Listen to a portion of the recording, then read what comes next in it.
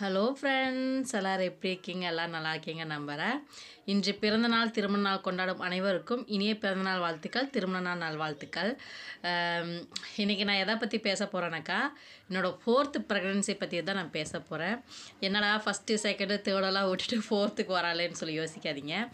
Fourth பேபியோட pregnancy story கொஞ்சம் இன்ட்ரெஸ்டிங்காக இருக்கும். அதனால் சரி இதையவே போட்டுடலாம் அப்படின்னு சொல்லிட்டு இதில் நான் வந்து எவ்வளோ கஷ்டப்பட்டேன்னு உங்களுக்கு தெரிஞ்சுக்குவீங்க நீங்கள் நான் எந்த அளவுக்கு கஷ்டப்பட்டேன்னு புரிஞ்சுக்குவீங்க. அதை பற்றி தான் இன்றைக்கி நான் பேச போகிறேன் சரி வாங்க ஃப்ரெண்ட்ஸ் வீடியோக்குள்ளே போய் பார்க்கலாம். ஃபோர்த்து பாப்பா வந்து கன்சீவ் ஆனது நான் வந்து கம்சகம் டுவெண்ட்டி டேஸ்லேயே நான் கண்டுபிடிச்சிட்டேன்.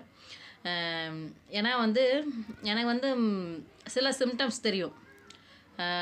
மற்ற பாப்பாங்களுக்கு டைமெல்லாம் எனக்கு அந்த சிம்டம்ஸை பற்றி எனக்கு தெரியல. வாமிட் பண்ணுறது இதெல்லாம் எனக்கு தெரியாது. ஆனால் வெஜனலா வந்து நான் ஒரு செக் பண்ணி பார்ப்பேன். அந்த சிம்டம்ஸ் வந்து எனக்கு கன்ஃபார்மாக கன்ஃபார்ம் பண்ணிடுச்சு இருபது நாள்லேயே நான் கண்டுபிடிச்சிட்டேன். எனக்கு ஹாப்பியாக இருந்தது. ஆனால் நான் என் வீட்டுக்காரர்கிட்ட நான் சொல்லலை. அப்புறம் ஒரு ஃபோர்ட்டி டேஸ்க்கு அப்புறம் நானே போய் அப்புறம் கார்டு வாங்கிட்டு வந்து சி- வீட்டிலேயே செக் பண்ணி பார்த்தேன். செக் பண்ணி பார்த்துட்டு பாசிட்டிவ் வந்துருச்சு. அப்புறம் என் வீட்டுக்காரர் ஃபோன் பண்ணி வீட்டிலேருந்து நான் ஃபோன் பண்ணி சொன்னேன். என் வீட்டுக்கார் எனக்கு தெரியும் இது முன்னாடியே நீ எப்போ சொல்லுவேன் செக் பண்ணி பார்த்துட்டு சொல்லுவேன்ட்டு நான் வெயிட் பண்ணிட்டு இருந்தேன் அப்படின்னு சொல்லி சொன்னார். அப்புறம் ஹாப்பியாக இருந்துச்சு. சரி எப்படியோ நல்லபடியாக பிறந்தா சரி அப்படின்னு சொல்லிட்டு. அப்புறம் மந்த்லி மந்த்லி நான் செக்கப் போவேன். இங்கேருந்து ரோதி ரோடு தான் போவேன். செக்கப்புக்கு வந்து ரோதி ரோடு நான் சொல்ல பாப்பா மூணாவது பாப்பாவுக்கு நான் போய் செக்கப் போனேனாக்கா நிறையா இப்போ பேர்த்துக்கிட்ட போய் பேசு அப்படின்னு சொல்லி சொன்னேன். அதே ஹாஸ்பிட்டலுக்கு தான் போனேன். போயிட்டு பாப்பா வந்து செக்கப் பார்த்துட்டு நானே வந்துடுவேன் ஏதோ ஒரு நாள் தான் அவர் வருவார். வந்தாலும் அவர் டியூட்டி இருக்கும் மேக்ஸிமம் வந்தாலும் வந்து பார்த்துட்டு அப்படியே வந்துடுவார் நானே போயிட்டு நானே நடந்து வந்துடுவேன் அங்கேருந்து கொஞ்சம் தூரம் தான் பஸ் ஸ்டாப்புக்கு நடந்து போவோம். நடந்து வர்றது ஒரு வாக்கிங் மாதிரியே இருக்கும். நல்லா போயிட்டு போயிட்டு வந்துட்டு இருந்தேன். அப்புறம் பிளட் டெஸ்ட் எடுக்கிறது யூரின் டெஸ்ட் எடுக்கிறது இதெல்லாம் அடிக்கடி சும்மா சும்மா சொல்லுவாங்க. அப்புறம் ஸ்கேன் பண்ணுறது இது. அடிக்கடி சொல்லிக்கிட்டே இருப்பாங்க. எல்லோரும் ஃபஸ்ட்டு பேபிக்கு தான் பயப்படுவாங்க. நான் வந்து ஃபோர்த்து பேபிக்கு தான் ரொம்பவே பயந்தேன். உண்மையிலேயே. அப்புறம் நல்லா தான் இருந்தது. பாப்பா வந்து கிட்டத்தட்ட ஒரு எட்டு மாதத்துலேயே வந்து அவள் தலை வந்து நல்லா திரும்பிடுச்சு எனக்கு அடி வயிற்றில் வந்து அவள் தலை வந்து மோதும். எனக்கு நல்லா தான் இருந்துச்சு பாப்பா வந்து ஃபீல் நல்லாவே ஃபீல் ஆகும். அவள் தலை வந்து அங்கே கீழே முட்டுறதும். என்னால் நடக்கவே முடியாது. அப்படியே நான் படிக்கட்டில் இறங்குனேன்னா டப்பு டப்புன்னு வந்து அந்த அடி வயிற்றில் வந்து பாப்பாவோட ஹெட் வந்து இடிக்கும். எனக்கு ரொம்ப கஷ்டமாக இருக்கும். சில சமயம் அப்படியே ஜிவ்வுன்னு இழுத்து பிடிச்சிக்கும். அவள் த தலை வந்து இப்படி டப்பு டப்புன்னு மோதுவா. எனக்கு ரொம்பவுமே கஷ்டமாக இருக்கும். அப்புறம் அப்புறம் எப்படியோ கொஞ்சம் நான் அப்படி இப்படியே அட்ஜஸ்ட் பண்ண ஆரம்பிச்சிட்டேன். அப்புறம் பாப்பாவுக்கு வந்து நான் எல்லாமே ட்ரெஸ்ஸுலேருந்து எல்லாமே வந்து நானே வாங்கி வச்சுக்கிட்டேன். சாரி ஃபோன் கால் வந்து டிஸ்டர்ப் பண்ணிகிட்டே இருந்துச்சு. அப்புறம் நானே பாப்பாவுக்கு எல்லாமே நானே வாங்க ஆரம்பிச்சிட்டேன். ட்ரெஸ்ஸு கிஸ்ஸு எல்லாமே வாங்கி வச்சுக்கிட்டேன். கொஞ்சம் கொஞ்சம் ட்ரெஸ் இருந்துச்சு. ஆனால் பழைய ட்ரெஸ் வந்து அவ்வளோக்கு நான் யூஸ் பண்ணல. பக்கத்து வீட்டில் இருந்தவங்கலாம் கொடுத்தாங்க ட்ரெஸ் எல்லாம். அதையும் நான் எடுத்து வச்சுட்டேன். இருந்தாலும் பாப்பாவுக்கு வந்து நானே போய் ட்ரெஸ் எடுத்துகிட்டு வந்துட்டேன். நான் வந்து ஆம்பளை பையன் தான் பிறக்கணும். ரொம்ப ஆசையாக இருந்தேன். நிஜமாலுமே எனக்கு ஆம்பளை பையன் ரொம்ப பிடிக்கும். என ஆம்பளை பையன் தான் பிறக்கும்னு சொல்லிட்டு ரொம்ப ஆசையாக எதிர்பார்த்துக்கிட்டு இருந்தேன். அப்புறம் டெலிவரி கிட்டத்தட்ட ஒரு மூணு நாள் இருக்கும்போது ஒரு வாரமே இருக்கும். ஒரு வாரத்துக்கு முன்னாடியே வந்து எனக்கு அது சொல்லுவாங்கல்ல டிஸ்சார்ஜ் ஆகும்னு சொல்லிட்டு. எனக்கு அப்படி டிஸ்சார்ஜ் ஆகும்போது ரெட் கலரில் டிஸ்சார்ஜ் ஆச்சா எனக்கு கன்ஃபார்மாக தெரிஞ்சிச்சு ஓ பொம்பளை பிள்ளை தான் அப்படின்னு சொல்லிட்டு. அதே மைண்டு ரொம்ப டிஸ்டர்ப் ஆயிடுச்சு. மூணு நாளைக்கு முன்னாடி அந்த ஒயிட் டிஸ்சார்ஜ் ஆகும். அது ஒயிட் டிஸ்சார்ஜ்னா பையன் பிறக்கும். ரெட் ரெட் கலர் டிஸ்சார்ஜ் ஆச்சுனாக்கா பொம்பளை பிறக்கும்னு சொல்லிட்டு நான் வீடியோஸில் ஏற்கனவே பார்த்துருக்கேன். ஆனால் எனக்கு மூணு பாப்பாங்களுக்கு கண் இது வரைக்கும் இந்த மாதிரி ஆனதே கிடையாது. White discharge red red colour discharge எனக்கு ஆனதே கிடையாது. அதை நான் வந்து நோட் பண்ணதே கிடையாது. அதுவும் இல்லாமல் பனிக்கூடம் வீட்டில் உடஞ்சதும் கிடையாது. ஹாஸ்பிட்டலுக்கு போய் தான் எனக்கு உடஞ்சிருக்கு. அப்புறம் இது கரெக்டாக தீபாவளி முடிஞ்சு ஒரு ஒரு வாரத்து ஒரு வாரம் இருக்கும் ஒரு வாரம் கழித்து தான் பாப்பாவுக்கு எனக்கு ரெட் கலர் டிஸ்சார்ஜ் ஆனதுமே என் வீட்டில் எனக்கு சொல்கிறதுக்கும் பயம். ஏன்னா எல்லோரும் வந்து ஏற்கனவே நான் ரொம்ப பேசிகிட்டு இருக்கிறாங்க. பொம்பளை பிள்ளைங்களா இருக்குது பொம்பளை பிள்ளைங்களா இருக்குன்னு சொல்லிட்டு. இதில் வேற இந்த நாலாவது பாப்பாவும் பொம்பளையாக பிறந்துருச்சுன்னா என்னடா பண்ணுவோம் இனி எல்லாம் என்ன எப்படி பேசுவாங்களோ அப்படின்னு சொல்லிட்டு அதுவே பயங்கர டென்ஷன் ஆயிடுச்சு எங்கள் அம்மா ஃபோன் பண்ணி அழுகுறேன் இல்லை இது பொம்பளை பிள்ளை தான் பிறக்கும் அப்படின்ட்டு. எங்கள் அம்மான்ட்டு இல்லடி மூணு பொம்பளை பிள்ளைங்களுக்கு ஒன்றும் ஆகலையில இந்த குழந்தைக்கு தானே இந்த மாதிரி ஆகுது அப்போ ஆம்பளை பையனாக தானே பிறகு எல்லாமே இது பொம்பளை பிள்ளை தான்மான்னு சொல்லிட்டு அழுகுறேன் எங்கள் அம்மாட்ட விடுடி ஏதோ ஒன்று பிறக்கடி நல்லபடியாக பிறந்தா சரி அப்படின்னு சொல்லிட்டு எங்கள் அம்மா சொல்லிகிட்டு இருக்குது. எனக்கு அந்த டென்ஷனை வந்து என்ன சொல்லுவாங்களோ யாராவது என்ன சொல்லுவாங்களோன்ட்டு மைண்டில் ஏற்றி ஏற்றி உண்மையிலேயே ரொம்ப ஸ்ட்ரெச்சாக ஒரு மாதிரி ஆயிட்டேன் நான். மைண்டு பூரா எனக்கு அதே தான். யா பார்க்குறவங்க நம்மளை என்ன பேசுவாங்களோ நீ எவ்வளோ கேவலமாக பேசுவாங்களோன்னு ஒரே எண்ணம் ஆகிப்போச்சு அழுதுகிட்டே இருந்ததை. கிட்டத்தட்ட ஒரு மூணு நாளாக நான் அழுதுகிட்டே இருந்தேன். அப்புறம் வெள்ளிக்கிழமை சாயங்காலம் இருக்கும். என் வீட்டுக்காரர் டியூட்டிலேருந்து வந்தார். வந்துட்டு அவர் எப்பயும் போல நான் சாப்பாடெல்லாம் செஞ்சு சூடு பண்ணி கொடுத்துட்டு ரொட்டி வந்த மாதிரி தான் சாப்பிடுவார். நான் அப்புறம் வரம் வந்ததுக்கப்புறம் ரெண்டு ரொட்டி சுட்டு கொடுத்தேன். அவரும் உட்காந்து சாப்பிட்டு இருந்தா பசங்களோட விளையாடிட்டு இருந்தார். நானும் சாப்பாடெலாம் சாப்பிட்டதுக்கப்புறம் அந்த பிளேட்டெல்லாம் எடுத்து கழுவலான்னு சொல்லிட்டு எடுத்து கிச்சனில் எடுத்து போட்டு கழுவிட்டு இருந்தேன். எனக்கு பனிக்கூடம் வந்து உடஞ்சி லீக் ஆக ஆரம்பிச்சிச்சு. ஜாஸ்தி லீக் ஆகல கொஞ்சமாக தான் லீக் ஆச்சு.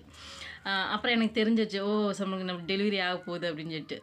அப்புறம் கன்ஃபார்ம் பண்ணுறக்கு அப்புறம் பாத்ரூம் போய் செக் பண்ணிவிட்டு பார்த்துட்டு அப்புறம் சரி இது இதுதான் க பனிக்குடம் தண்ணி தான் யூரின் கிடையாது அப்படின்னு சொல்லிட்டு அப்புறம் என் வீட்டுக்காரர்கிட்ட சொல்லிட்டேன் நான் இதெல்லாம் பேக் பண்ணி ரெடியாக வச்சுருந்தேன் ட்ரெஸ்ஸு ஃபைல்ஸு எல்லாமே நான் வந்து ரெடியாக வச்சுருந்தேன். எப்படி நம்மளுக்கு டெலிவரி போகும்போது எல்லாமே தேவைப்படும்னு சொல்லிட்டு நம்மளுக்கு தான் மூணு டெலிவரி ஆயிருக்கலாம்னால என்னென்ன தேவைப்படுமோ எல்லாமே நான் பக்காவாக ரெடி பண்ணி வச்சுருந்தேன். அப்புறம் எல்லாம் எடுத்து பேக் பண்ணி எடுத்து வச்சுக்கிட்டு நானும் என் வீட்டுக்காரும் என் வீட்டுக்காரர் வேற ரொம்ப பயந்துட்டார். என்னடி ஆயிடுச்சு என்னடி ஆயிடுச்சு அப்புறம் இல்லை நீ என்னடா ஆஸ்பத்திரிக்கு போகலாம் அப்படின்னு சொல்லிட்டு. அப்புறம் வண்டியில் போக எனக்கு ஒரு ஒரு பயம். எங்கே போகிற வழியிலே ஏதாவது ஏதோ ஒன்று ஆயிருமோன்னு ரொம்ப பயமாகி போயிடுச்சு ஏன்னா ஃபோர்த்து பேபியில் சட்டுன்னு பிறந்துரும் அப்படிங்கிற ஒரு என்ன ஏற்கனவே தலை வர கீழ் இருக்குதா? நான் சொன்னேன் ஆட்டோவில் போயிடலாம் அப்படின்னு சொல்லிட்டு. இல்லை நீ உட்காந்துக்கோ நான் பஸ்ஸில் நான் வண்டியிலே கூட்டிகிட்டு போயிடுறேன் அப்படின்னு சொல்லிட்டு டூ வீலர் தான். அப்புறம் வண்டியிலே கூட்டிகிட்டு போக ஆரம்பிச்சிட்டாரு. கூட்டிகிட்டு போனால் பா தூரத்து பொண்ணு எனக்கு ரொம்ப அழகையாக வந்துருச்சு. நான் எங்கள் வீட்டுக்காரர்கிட்ட கேட்டே வரேன். எங்கள் திரும்ப பொம்பளை பிள்ளை பிறந்துச்சுன்னா என்னங்க பண்ணுறது பொம்பளை பிள்ளை பிறந்துச்சுன்னா என்னங்க பண்ணுறது அப்படின்ட்டு. விடுறி பார்த்துக்கலாம் விடுறி பார்த்துக்கலாம் அப்படின்ட்டு நீ மூணு வளர்த்திட்ட இன்னொன்று வளர்த்துறக்கு ரொம்ப கஷ்டமாக நான் பார்த்துக்கலாம் விடு விடுன்னு சொல்லிட்டே வராரு. எனக்கு ஆறுதல் சொல்லிகிட்டே வராரு. ஆனால் எனக்கு அழுகாச்சியாக வருது.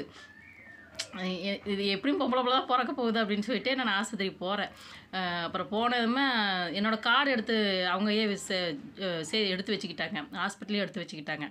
அதாவது டெலிவரி கிட்டத்தட்ட பக்கமாக வந்துருச்சுனாக்கா அவங்களே கடலை வச்சுக்குவாங்க. நம்ம போனதுமே நம்ம பேரை மட்டும் சொன்னோம்னாக்கா உடனே நம்மளுக்கு அட்மிஷன் போட்டு உள்ளே அனுப்பிடுவாங்க. அப்புறம் நான் போனதுமே எனக்கு முன்னாடியே கிட்டத்தட்ட ஒரு நாலஞ்சு பொண்ணுங்க இருந்தாங்க. அது ஒரு பொண்ணு மட்டும் துடிச்சிட்டு இருந்தது. இன்னொரு பொண்ணுக்கு வந்து பெயின் ஆகிட்டு இருந்தது. ஆனால் டெலிவரி ஆகிற சிம்டம்ஸ் எதுவும் அந்த பொண்ணுக்கு இல்லை. ஓப்பன் ஆகலை. வாய் ஓப்பன் ஆகலை. அப்புறம் உள்ளே போனதுமே என் பே உள்ளே அட்மி உள்ளே அட்மிட் பண்ணிட்டாங்க. என் வீட்டுக்காரருக்கு நார்மல் டெலிவரி நார்மல் டெலிவரி தான் ஆகிறதுக்கு எல்லாமே ட்ரை பண்ணாங்க. எல்லாமே பா இது பண்ணி அந்த நார்மல் டெலிவரிக்கு என்னென்ன தேவைப்படுமோ அதெல்லாம் என் வீட்டுக்காரர்கிட்ட எல்லாம் கொடுத்து அவர் வாங்கிட்டு வந்து அப்புறம் செக் பண்ணி டாக்டர் செக் பண்ணி பார்த்து என் வீட்டு வீட்டுக்காரர் கண்டபடி திட்டுறாரு. ஏன் அந்த பிள்ளைக்கு சத்தே இல்லையா? கர்ப்பப்பையில் ஸ்ட்ராங்கே இல்லை. இந்த பொம்பளை எப்படி அவள் குழந்த பிறக்கும்? அப்படின்னு சொல்லிட்டு என் வீட்டுக்கார டாக்டர் வர கண்டபடி திட்டுறாரு. சரி என்ன பண்ணுறது சரி நான் வந்து ஃபோர்த்து பேபின்னு சொல்ல தேர்டு பேபின்னு தான் சொல்லியிருந்தேன். போய் சொல்லியிருந்தேன். ஏன்னா ஃபோர்த்து பேபின்னு சொன்னால் எனக்கு கண்டவர் திட்டிடுவாங்கன்னு சொல்லிட்டு தேர்டு பேபின்னு சொல்லியிருந்தேன். அப்புறம் என் வீட்டுக்காரர்கிட்டையும் சொல்லியிருந்தாரு தேர்டு பேபின்னு சொல்லு ஃபோர்த்து பேபின்னு சொல்லிடாது அப்படின்ட்டு. அப்புறம் சரின்னு சொல்லிட்டு என் வீட்டுக்காரர் எல்லாம் வாங்கி கொடுத்துருந்தா டாக்டரை செக் பண்ணிவிட்டு இந்த பொண்ணுக்கு நீ கொஞ்சம் நேரத்தில் டெலிவரி ஆயிரும். நீங்கள் வெயிட் பண்ணுங்கள் வெளியே அப்படின்னு சொல்லிட்டு என் வீட்டுக்கார வெளியே உட்கார வச்சுட்டாங்க. அப்புறம் அவங்க ஷிஃப்ட்டு முடிஞ்சிருச்சு. அவர் கொஞ்சம் டாக்டர் தான். ஆனால் வந்து அவர் கொஞ்சம் பார்க்கறக்கு திருநங்கை மாதிரி இருந்தாங்க. அந்த டாக்டர் ரொம்ப நல்ல டாக்டர் அப்புறம் பார்த்துட்டு செக்அப் பண்ணி பார்த்துட்டு சரிம்மா உனக்கு எப்படி விடியறதுக்குள்ளே டெலிவரி ஆகிடும் படுத்துக்கோ அப்படின்னு சொல்லிட்டு என்ன உள்ள ஒரு ரூம் இருந்தது. அந்த ரூமில் படுக்க வச்சுருந்தாங்க. நான் லைஸாக வயலி வந்துச்சு. வலியோடவே பேசாமல் படுத்துக்கிட்டே இருந்தேன். ரொம்ப அவ்வளோக்கெல்லாம் வலி இல்லை. ஓரளவுக்கு தாங்குற மாதிரி எனக்கு வலி இருந்தது. வ வலியோடவே படுத்துக்கிட்டே இருந்தேன். அப்புறம் திடீர் ஷிஃப்ட்டு மாறினதுக்கப்புறம் வந்து சும்மா சும்மா செக் பண்ணிகிட்டு இருப்பாங்களோ ஒரு ரெண்டு மூணு மணி இருக்கும்போது நர்ஸுங்க வந்து செக் பண்ணாங்க. செக் பண்ணி பார்க்கும்போது வஜனாவில் வந்து ப்ரௌன் கலரில் டிஸ்சார்ஜ் ஆக ஆரம்பிச்சது. அதாவது பாப்பா லெட்டின் போயிட்டா. வயிற்றுக்குள்ளே லெட்டின் போயிட்டா. உடனே வந்து டாக்டருங்கெல்லாம் செக் பண்ணி பார்த்துட்டு எல்லாம் இல்லை பாப்பா வந்து கொஞ்சம் இதாக இருக்கா அப்படின்னு சொல்லிட்டு லெட்டின் போயிட்டால குழந்தைங்க வந்து தண்ணி குடிச்சிருவாங்க. பாப்பா பயந்துட்டா. வயிற்றுக்குள்ளேயே பறந்துட்டா. அவங்க நார்மல் ட்ரைவ் ட்ரை பண்ணலாம் ட்ரை பண்ணலாம்னு சொல்லி சொல்லி சொல்லி சொல்லியே கிட்டத்தட்ட ஒரு எட்டு மணி ஆகிப்போச்சு எட்டு மணி ஆனதுக்கப்புறமா அப்புறம் மறுபடியும் செக் பண்ணி பார்க்குறாங்க. பாப்பாவோட ஹார்ட் பீட் என்னென்னா இருக்கிறத விட ரொம்பவுமே ஸ்பீடாக துடிக்க ஆரம்பிச்சிருச்சு. பயங்கர வேகமாக துடிக்க ஆரம்பிச்சிச்சு எனக்கு வந்து ஃபீவர் ஆக ஆரம்பிச்சிச்சு ஃபீவர் வந்துருச்சு. ஃபீவர் வந்துருச்சு. அப்புறம் என்ன பண்ணுறதுன்னு சொல்லிட்டு உடனே டாக்டருங்க பெரிய டாக்டருங்கிட்ட எல்லாம் பேசி வந்து செக் பண்ணி பார்க்கும்போது இல்லை இந்த குழந்தை வந்து ரொம்ப ஹார்ட் பீட் ரொம்ப ஸ்பீடாக ஓடிட்டுருக்கு உடனே இந்த பொண்ணை வந்து ஆப்ரேஷன் பண்ணி குழந்தைய எடுத்துடணும். இதுக்கு மேலே விட்டாக்கா இதுக்கு மேலே விட்டாக்கா பாப்பாவுக்கு வந்து வந்து இதாயிரும் அப்படின்னு சொல்லிட்டு பாப்பா ஏதோ ஒன்று ஆயிரும் குழந்தைக்கு ஏதோ ஒன்று ஆயிரும்னு சொல்லிட்டு எமர்ஜென்சியில் கிட்டத்தட்ட ஒரு ஒன்பதரை மணி இருக்கும் ஒன்பதரை பத்து மணி இருக்கும். எடுத்துகிட்டு அவசர அவசரமாக ஓடினாங்க. எனக்கு வந்து கையில் வந்து செக் பண்ணவே இல்லை. ஒரு மருந்து வந்து நம்மளுக்கு ஆப்ரேஷன் பண்ணுறாங்கன்னா இந்த மருந்து அவங்களுக்கு செட் ஆகுமா செட் ஆகாதான்னு சொல்லிட்டு ஃபஸ்ட்டே வந்து ஒரு இன்ஜெக்ஷன் மாதிரி போட்டு செக் பண்ணி பார்ப்பாங்க கிட்டத்தட்ட ஒரு அஞ்சாறு இன்ஜெக்ஷன் போடுவாங்க. போட்டு அந்த மருந்து வந்து சூட் ஆகுதா இல்லையான்னு சொல்லிட்டு செக் பண்ணி பார்ப்பாங்க எனக்கு எந்த ஒரு டெஸ்ட்டும் எடுக்கல எந்த எந்த ஒரு இதுவுமே பண்ணல. எமர்ஜென்சியில் பாப்பாவுக்கு ஏதோ ஒன்று ஆயிருமேன்னு சொல்லிட்டு எமர்ஜென்சியில் அவசர அவசரமாக தூக்கிட்டு ஓடுறாங்க. டெலி ஆப்ரேஷன் தேட்டருக்கு அங்கே போய் பார்த்தா கிட்டத்தட்ட ஆப்ரே ஆப்ரேஷன் தேட்டருக்குள்ளே ஒரு நாலஞ்சு பேர் தான் இருப்பாங்க. இல்லைன்னா கம்சகமாக ஒரு ஆறு ஏழு பேர் தான் இருப்பாங்க. நான் கேள்விப்பட்டிருக்கேன். ஆனால் அங்கே பார்த்தா கிட்டத்தட்ட ஒரு இருபது பேர் இருந்தாங்க. பொண்ணு பசங்கன்னு சொல்லிட்டு எல்லாம் அத்தனை பேர் இருந்தாங்க. ஆளுக்கு ஒரு கை இந்த கால் ஒரு அஞ்சு பேர் பிடிக்கிறாங்க. அந்த கால் ஒரு அஞ்சு பேர் பிடிக்கிறாங்க. கை அஞ்சு பேர் இந்த கை அஞ்சு பேர். எனக்குன்னா எனக்கு ஆப்ரேஷன் பண்ணுறதை விட எனக்கு அங்கே இருக்கிறவங்கள பார்த்து தான் ரொம்பவுமே பயம் எடுத்துக்கிச்சு ரொம்பவுமே பயந்துட்டேன். அப்புறம் சரின்னு சொல்லிட்டு என்னடா பண்ணுறது சரி நல்லபடியாக பாப்பா பிறந்தா சரி அப்படின்னு சொல்லிட்டு அப்புறம் இன்ஜெக்ஷன் போட்டு பா என்னை பயம் நான் ரொம்ப பயந்துட்டேன். கை காலெல்லாம் வச்சு ஏன்னா தே- மூணு பாப்பாவும் நார்மல் இல்லையா? ஐயோ ஒருத்தி மட்டும்தான் ஆப்ரேஷனா ரொம்பவுமே பயந்துட்டேன். எனக்கு என்ன கண்ணில் கண் தண்ணீர் தான் வருது. எப்படியும் பொம்பளை பிள்ளை தான் இருப்பாங்கன்னு சொல்லிட்டு அது ஒரு பயம் இன்னொரு பக்கம். எடுத்தாங்கன்னா இன்னும் என்னென்ன பேச்சு விழுகுமான்னு சொல்லிட்டு அது இன்னொரு பக்கம் அதுக்கு மேலே ஒரு பயம். அப்புறம் சரின்னு சொல்லிட்டு ஆளாளுக்கு எனக்கு ரொம்ப டாக்டருங்கெல்லாம் வந்து க- கை காலெல்லாம் அமுக்கிவிட்டு சுடுதண்ணியெல்லாம் எட்டு வந்து எனக்கு பாப் மாதிரி வச்சுட்டு பக்கத்துலேயே இருந்து அப்புறம் ஆப்ரேஷன் பண்ணி பாப்பா வெளியே எடுத்தாங்க.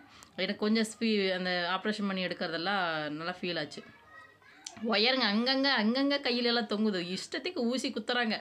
அங்கங்கே குத்துறாங்க. எனக்கு நான் பயமாகி போச்சு. காலெல்லாம் தேய்ச்சி விட்றாங்க. அப்புறம் சரின்னு சொல்லிட்டு பாப்பா வெளியே எடுத்துகிட்டு வந்து காமிச்சிட்டு எனக்கு கொண்டு வந்து காமிச்சாங்க. தலைக்கட்டை இப்படி எடுத்துகிட்டு வந்து காமிக்கிறாங்க. பாப்பா என்ன குழந்தை பார்த்து சொல்லுமா? அப்படின்னு சொல்லி நான் இப்படியே பார்த்து பாப்பா பார்த்துட்டு பொம்பளை பிள்ளை அப்படின்னு சொல்லி சொன்னேன். எனக்கு தெரிஞ்சு போச்சு. இது ஏற்கனவே பவர்ஃபுல்லாக தான் தெரிஞ்சு போச்சு. இது என்ன போய் என்ன குழந்தை வந்ததுக்கப்புறம் தெரியாமல் இருக்கணும்னு சொல்லி இப்படி பார்த்துட்டு அப்புறம் கொண்டு வந்து டாக்டர் பக்கத்தில் கொடுத்தேன்னா அப்புறம் ஒரு மொத்தம் கொடுத்தேன். மொத்தம் கொடுத்தேன் வெரி குட் அப்படின்னு சொல்லிட்டு தூக்கிட்டு போயிட்டாங்க. அப்புறம் டாக்டர் இருந்துட்டு என்னம்மா ஃபேமிலி பிளானிங் பண்ணாமா? வேணாமா ஃபேமிலி பிளானிங் பண்ணாமா வேண்டாமா? அப்படின்னு சொல்லிட்டு ரெண்டு மூணு வாட்டி கேட்டாங்க. இல்லை நீங்கள் பண்ணிடுங்க எனக்கு வந்து இன்னி குழந்தையெல்லாம் இஷ்டம் இல்லை பெக்கிறதுக்கு அப்படின்னு சொல்லி சொல்லிட்டேன். அப்புறம் சரின்னு சொல்லிட்டு அவங்க முடிச்சு போட்டு ஆப்ரேஷன் என்ன பண்ணுமோ பண்ணிட்டாங்க. பண்ணி முடிச்சதுக்கப்புறம் அவ்வளோதான் எனக்கு அதுக்கப்புறம் என்ன நடந்துச்சுன்னே தெரியல. நிஜமாமே நினப்பே இல்லை. நினப்பில்னா மயங்கிட்டேன். என் பேசுகிற சுற்றி என்னென்ன நடக்குதுங்கிறது ஒரு ஃபீல் இருந்துச்சு. ஆனால் வந்து என்னால் எந்திரிக்க முடியல. மயக்கத்தில் படுத்திருந்தேன். அப்புறம் வெளியேருந்து உள்ளேருந்து உள்ள வார்டுலேருந்து வெளியே எடுத்து வராங்க என் வீட்டுக்கார் வெளியே இருக்கிறார். மேலே துணியில் போட்டிருந்தாங்க. அதனால் என் வீட்டுக்கார் என்னை பார்க்கல. அப்புறம் உள்ள ரூம்க்கெல்லாம் எடுத்துகிட்டு போய் படுக்க வச்சுருந்தேன். எல்லாம் பக்கத்தில் இருக்கிறவங்களாம் வந்து வந்து பேசுகிறாங்க ஆனால் யார்கிட்டையும் என்னால் பேச முடியல. எதுவும் இப்போ திரும்பி ரிப்ளை பண்ண முடியல என்னால். ஏன்னா மயக்கத்துலேயே இருந்தேன். மயக்கம் தெளிஞ்சதுக்கப்புறம் கூட என்னோட நார்மல் இதுக்கு வரல. வாயை திறந்து என்னால் பேச முடியல. அந்த அளவுக்கு எனக்கு மருந்து வந்து எஃபெக்ட் ஆயிடுச்சு. அப்புறம் சரின்னு சொல்லிட்டு அவங்க ஒரு ரெண்டு நாள் என்னை வந்து என்னை பாப்பா கொண்டு வந்து என்கிட்ட கொடுக்கவே இல்லை. கிட்டத்தட்ட ரெண்டு நாள் நான் பாப்பா பார்க்கவே இல்லை. மூணாவது நாள் தான் வந்து பாப்பாவுக்கு வந்து ஃபீடிங் பண்ணுறக்காக எட்டு வந்து கொடுத்தாங்க. அப்போ தான் நான் வந்து பாப்பாவை கையிலேயே தூக்குறேன். என் வீட்டுக்காரர் ஃபோன் பண்ணி பாப்பா பார்த்தியா எப்படி என் வீட்டுக்காரர் உள்ளே வர்றதுக்கு அலோடு இல்லை. வெளியவே தான் இருந்தார். அப்புறம் பார்த்துட்டு பாப்பா எப்படி இருக்கிறா? என்ன ஏதுன்னு சொல்லி பாப்பா அவர் பார்த்துட்டாரு. ஆனால் பாப்பா வந்து நான் பார்க்கல. மூணு நாள் கழித்து கொண்டு வந்து கொடுக்குறாங்க. அவள் அப்படியே அவ்வளோ அழகாக இருந்தா புட்டு புட்டுன்னு ஒ- ஒட்டு உடம்பில்ல இருந்தாலும் எனக்கு வந்து மூணு குழந்தைங்கள பிறந்ததை விட இவ வந்து ரொம்ப அழகாக தெரிஞ்சா. பார்க்குறக்கு அவங்க அப்பாவோட ஃபேஸ் மாதிரி இருந்தா. அப்புறம் எடுக்கவும் முடியல என்னால் எந்திரிச்சு உட்காரவும் முடியல. அப்புறம் எங்கள் மாமியார் தான் படுக்க வச்சு அப்படியே பால் கொடுத்து அவளை எடுத்து எடுத்து டா டாக்டர் தான் மேக்ஸிமம் வச்சுருந்தாங்க. ஃபஸ்ட்டு பால் டாக்டர் தான் அவளுக்கு வந்து பால் கொடுத்தது வந்து சின்னவளுக்கு. யாராவது சக்கரை தண்ணி ஊற்றுவாங்க இவங்களுக்கெல்லாம் சக்கரை தண்ணி நாங்கள் ஊற்றிக்கிறோம் ஆனால் டாக்டர் தான் அவளுக்கு வந்து ஃபஸ்ட்டு ஃபஸ்ட்டு பால் ஊற்று அவங்களுக்கு கொடுக்குறக்கு இஷ்டமே இல்லை. டாக்டரே கூட வந்து கேட்டாங்க உனக்கு ஃபோ உனக்கு மூணு பாப்பா இருக்குதுல்ல. இந்த பாப்பா வேணான்னா எனக்கு கொடுத்துரு நானே வச்சுக்கிறேன். அப்படின்னு சொல்லிட்டு அந்த டாக்டர் கூட என்கிட்ட வந்து கேட்டாங்க இல்லை இல்லை நாங்கள் அப்படி கொடுக்க முடியாது. அப்படின்னு சொல்லிட்டு பாப்பாவை நான் வாங்கிட்டு வந்துட்டேன். அப்புறம் இது என்னாச்சுனாக்கா நல்லா தான் இருந்தேன். ஆனால் எனக்கு திடீர் திடீர்னு ஃபீவர் வர ஆரம்பிச்சிருச்சு. ரொம்ப காய்ச்சல்லாம் வர ஆரம்பிச்சிருச்சு. ஏன்னு தெரியாமல் அப்படியே குளிர் காய்ச்சல் ஜுரம் வர மாதிரி இருந்துச்சு. அப்புறம் டா டா மருந்து சாப்பிடுவேன். கிட்டத்தட்ட நைட் நேரத்துலேயே தான் எனக்கு குளிர் ஜுரம் வர ஆரம்பிச்சது. சரியாக சாப்பிடவும் மாட்டேன். மெதுவாக எந்திரிப்பேன். எந்திரிக்கவே முடியாது. பெட்டு அட்ஜஸ்ட் பண்ணுற மாதிரி எனக்கு கொடுத்துருந்தாங்க. அதில் தான் எந்திரிப்பேன். எந்திரிச்சு மெல்லமாக எந்திரிச்சு வாஷ்ரூம் பண்ண போயிட்டு ஒரு நாளைக்கு ஒரு ரெண்டு தடவை தான் எந்திரிப்பேன். அதுக்கு மேலே எந்திரிக்கவே மாட்டேன். ஒரு ஒரு ஆறு நாள் கழிச்சு அப்புறம் ஃபீவர் ஜாஸ்தியாக இருக்கும்னு சொல்லிட்டு டாக்டரை வச்சுக்கிட்டாங்க. நான் என்னோட டெலிவரியான பொண்ணுங்க வீட்டுக்கு போயிட்டாங்க. ஆனால் இந்த எனக்கு வந்து ரொம்ப ஃபீவர் விட்டு விட்டு வருதுன்னு சொல்லிட்டு அஹ், வச்சுக்கிட்டாங்க. வீட்டிலேயே வச்சுக்கிட்டாங்க. சாரி ஹாஸ்பிட்டலே வச்சுக்கிட்டாங்க. ரெண்டு நாள் கழித்து திரும்ப எனக்கு அது குறையவே இல்லை. ஃபீவர் வந்துக்கிட்டே தான் இருந்துச்சு. இது என்னப்பா இப்படி ஃபீவர் வருது போகுது ஃபீவர் வருது போகுது. சரி இதுக்கு மேலே எல்லாம் ஹாஸ்பிட்டல் வச்சுட்டு இருக்க முடிய இடம் இல்லை. நீங்கள் வீட்டுக்கு கூட்டிகிட்டு போங்க. ரொம்ப முடியலனா மட்டும் கூட்டிகிட்டு வந்துடுங்க அப்படின்னு சொல்லிட்டு என் வீட்டுக்காரர்கிட்ட சொல்லி வீட்டுக்கு அனுப்பி வச்சிட்டாங்க. அப்புறம் நான் வீட்டுக்கு வந்துட்டேன். பாப்பாவை எடுத்துகிட்டு வீட்டுக்கு வந்துட்டோம். வீட்டுக்கு வந்து நானே என் வீட்டுக்கார் தண்ணி காய வச்சு கொடுத்தாரு. நானே பா சேர் போட்டு பாப்பாவை கால் மேலே போட்டு நானே குளிக்க வச்சிட்டேன். ஏன்னா பாப்பா மற்ற பாப்பாங்களெல்லாம் எனக்கு குளிச்சு பழக்கமாக இருந்து எங்கள் மாமியார் கூட குளிக்க வைக்கல. அவங்க பயந்துக்கிறாங்க குழந்தைய தொடறதுக்கு. அப்புறம் நானே கால் மேலே போட்டு குளிக்க வச்சுக்கிட்டேன். குளிக்க வச்சுட்டு அப்புறம் நானும் குளித்தேன் அதுதான் நானும் பாப்பாவும் குளித்தது கிட்டத்தட்ட. அதுக்கப்புறம் ஒரு மாதம் நாங்கள் ரெண்டு பேருமே குளிக்கல. அப்புறம் வீட்டில் இருந்ததுக்கப்புறம் திரும்பவும் காய்ச்சல் வர ஆரம்பிச்சது. காய்ச்சல் பயங்கரமாக விட்டு விட்டு வர ஆரம்பிச்சது. நானும் டேப்லெட் கொடுத்துருந்தாங்க. ஒரு நாளைக்கு ரெண்டு டேப்லெட் சாப்பிடுவேன் காய்ச்சல் விட்டு விட்டு வரும்போதெல்லாம். அப்புறம் என் இந்த மாதிரி ஆகும்னு எனக்கு தெரியவே தெரியாது. அப்புறம் தையல் பிரிக்கிறதுக்கு என்னை டாக்டர் திரும்ப வர சொல்லியிருந்தாங்க. கிட்டத்தட்ட ஏழாவது நாள் எட்டாவது நாள் என்னமோ வர சொல்லியிருந்தாங்க. திரும்ப நாங்கள் போனோம் ஹாஸ்பிட்டலுக்கு போனோம் பாப்பா விட்டுட்டு தான் போனேன். எப்படியும் சரி தையல் பிரிச்சுட்டு வருதுன்னா ஏன்னா அவளை வச்சுக்கிட்டு என்னால் உட்காரவே முடியாது. காரில் தான் கொண்டு போய் கூட்டிகிட்டு போனார். என்னால் பாப்பா வச்சுக்கிட்டு கஷ்டமாக இருந்ததா? அதனால் எங்கள் மாமியார்கிட்ட சொன்னேன் நீங்கள் பார்த்துக்கோங்க அவளுக்கு மேல்பால் ஏதாவது கொஞ்சம் கொடுத்துருங்க. நான் வர வரைக்கும் அட்ஜஸ்ட் பண்ணி பார்த்துக்கோங்க அப்படின்னு சொல்லிட்டு எங்கள் மாமியார் கூட்டிகிட்டு எங்கள் வீட்டுக்கார் நானும் போனோம். போனதுமே அப்புறம் உள்ளே கூட்டிகிட்டு போய் டாக்டர்கிட்ட படுக்க வச்சு அந்த ஸ்கின்னு அவங்க ஓப்பன் பண்ணி பார்த்ததுமே தெரிஞ்சுக்கிட்டாங்க. எனக்கு எனக்கு இன்ஃபெக்ஷன் ஆயிடுச்சு அப்படின்ட்டு. அப்புறம் அந்த இன்ஃபெக்ஷன் ஆனது ஒரு மாதிரி சீ பிடிச்சி புண்ணாகி கசகசன்னு ஒரு மாதிரி ஆயிடுச்சு அப்புறம் வந்து சிசர் வச்சு கட் பண்ணி கட் பண்ணி அந்த தையல் போட்டிருந்ததெல்லாம் எடுக்கிறாங்க. எனக்கு அப்படியே உயிர் போகுது. என்னால் முடியல வள்ளி தாங்க முடியல. கொச கொசன்னு புண்ணாகி போச்சு அந்த இடமெல்லாம் வயிற்று பூரா கொச கொசன்னு புண்ணாயிடுச்சு கத்துற அப்புறம் டாக்டர் இருந்துட்டு அப்படியே நான் வந்து கட்டி பிடிச்சிக்கிட்டார் ஒரு டாக்டர் வயசு பையன்தான். அவர் வந்து என்னை கட்டி பிடிச்சிக்கிட்டார். ஏன்னா என்னால் வலி பொறுக்க முடியாமல் க கத்துற பாட்டு அங்கே இருக்கிற நர்ஸுங்கெல்லாம் சா டாக்டரை பிடிக்காத டாக்டர் பிடிக்காத அப்படின்னாரு ஆனால் நான் அவரோட கையை இப்படி இறுக்கி பிடிச்சிட்டு இருக்கிறத பார்த்துட்டு உடனே அவர் கையை எடுத்து விட்டுட்டு வந்து நான் கட்டி பிடிச்சிக்கிட்டாரு. க இப்படி கட்டி பிடிக்கிறதுனால வலி கொஞ்சம் கம்மியாக இருக்கும் நான் அதாவது சப்போர்ட்டுக்காக எனக்கு வந்து அப்படியே கட்டி பிடிச்சிக்கிட்டாரு. அப்புறம் டாக்டர் வந்து ரெண்டு மூணு தையல் என்னமோ தான் எடுத்தாங்க. அதுக்கு மேலே எடுக்க முடியல. ஏன்னா ரொம்ப புண்ணு கொச கொசன்னு இருந்ததா க்ளீன் பண்ணி எடுக்கிறது நான் ரொம்ப வலி தாங்க முடியல. என்னால் கதற கதறன்னு கதறிட்டேன். அப்புறம் இல்லை இந்த பொண்ணை வந்து நீ சரி நான் க்ளீன் பண்ணி அனுப்பியிருக்கம்மா. நீ ரெண்டு நாள் கழித்து வீட்டுக்கு போயிட்டு திரும்பி வா. கொஞ்சம் புண்ணு ஆனது ஆறுனதுக்கப்புறம் நான் டேப்லெட்டாக தர சாப்பிட்றக்கு இந்த புண்ணு ஆறுனதுக்கப்புறம் திரும்ப மீதி இருக்கிற தையலை கட் பண்ணி எடுத்துடலாம் அப்படின்னு சொல்லி சொல்லிட்டாங்க. அப்புறம் சரி நீ வீட்டுக்கு போமா போயிட்டு ரெண்டு நாள் கழிச்சு வான்னு சொல்லி டாக்டர் சொல்லிட்டாங்க. அப்புறம் நான் இருந்துட்டு இல்லை என்னால் சி படிக்கட்டு ஏறி ஏறி இறங்க முடியாது. என் வீடு வந்து படிக்கட்டு மேலே இருக்குது கீழே இறங்க முடியாது. அதுவும் இல்லாமல் நம்ம வீட்டுக்கிட்டேருந்து வெளியே போகிறதுக்கு பஸ்ஸு அதாவது வண்டிங்கெல்லாம் வர்றது ரொம்ப கஷ்டம். டூ வீலர்னால் சட்டுன்னு வந்துட்டு போகும். பெரிய வண்டியில் எடுத்து வந்தோம்னாக்கா ரொம்ப நேரமாகும் வெளியே போகிறதுக்கு அப்புறம் இல்லை நான் என்னால் போக முடியாது. நீங்கள் இங்கேயே அட்மிட் பண்ணிடுங்க நான் நல்லா ஆனதுக்கப்புறம் எனக்கு வந்து சரி பண்ணி அனுப்பிடுங்க நான் வீட்டுக்கு போகிறேன் அப்படின்னு சொல்லிட்டு. அப்புறம் சரின்னு சொல்லிட்டு அட்மிட் பண்ணிட்டாங்க. அட்மிட் பண்ணி உள்ளே எனக்கு தனியாக ரூம் கொடுத்துருந்தாங்க. அந்த ரூமில் போய் நான் பேசாமல் படுத்திக்கிட்டேன். ராத்திரி பூரா செம்ம வலி. எனக்கு இடுப்பு வலி பயங்கரமாக எடுத்துக்கிச்சு.